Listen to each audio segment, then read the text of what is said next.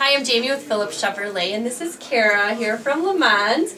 And she just purchased her second brand new Malibu here from Phillips Chevrolet. Kara, tell us a little bit about your experience today. Uh, Jaime's great. This is my second car that I bought from Jaime, and I'm definitely going to come back for my third. Awesome. We definitely appreciate the business. Congratulations. Thank you.